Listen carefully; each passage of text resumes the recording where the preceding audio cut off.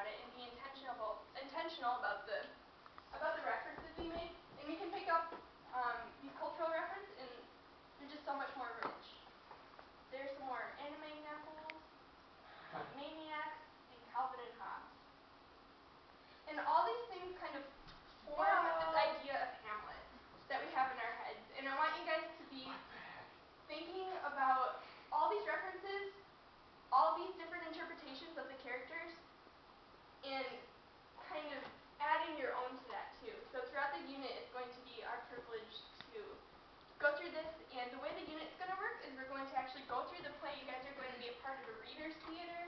You're going to be members.